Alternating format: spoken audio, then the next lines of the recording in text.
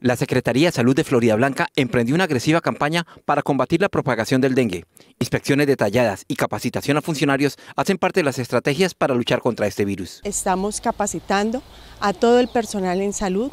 Ya llevamos aproximadamente más de 100 eh, médicos y enfermeras capacitados en todas las guías eh, y protocolos para la atención integral del paciente, con el fin de que los pacientes acudan a su IPS y así poder hacer un buen manejo de esta enfermedad para evitar cualquier mortalidad. Marta Liliana Rodríguez, secretaria de Salud, señaló que la administración ha sido acuciosa y ha actuado con prontitud para prevenir cualquier brote de la enfermedad. Con el equipo de ETV estamos realizando campañas eh, estamos capacitando a la comunidad y estamos haciendo caracterización e inspección en cada una de las casas con el fin de detectar en qué sitios hay un alto riesgo del el vector y así poder controlarlo y poder prevenir la enfermedad. La funcionaria hizo un llamado a los florideños para que acudan a los centros médicos o EPS si sienten algunos de los síntomas comunes, como son fiebre alta, malestar en los ojos, dolor de huesos y de cabeza.